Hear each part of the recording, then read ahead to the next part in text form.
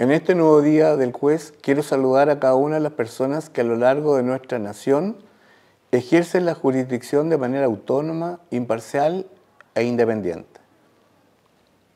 Conmemorar la designación de los primeros jueces de nuestra República nos lleva a recordar el papel que la judicatura ha tenido en la configuración de este país. Esta historia, de la cual formamos parte, nos debe inspirar y llevar a renovar nuestro compromiso con los valores y principios fundamentales que guían y confieren dignidad a la función jurisdiccional.